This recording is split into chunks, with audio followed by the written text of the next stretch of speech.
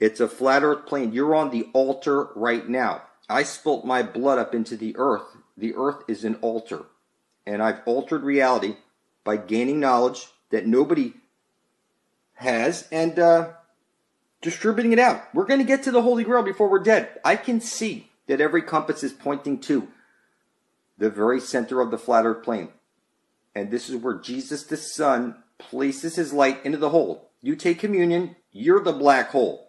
You bow your head in prayer to the black sun. You close your eyes, make a wish for the black sun. You throw the coin in the wishing well for the black sun. You blow in the dice for the black sun. Look at your. It doesn't matter what religion you are. You go around the cube. You know, in Mecca, you put the cube on your head if you're Jewish, and on your arm, you unfold your, your cube and wear it around your neck as your cross because you're crossing confused. You can't see that every compass is pointing to the Holy Grail, where you get eternal life and your way out of the matrix.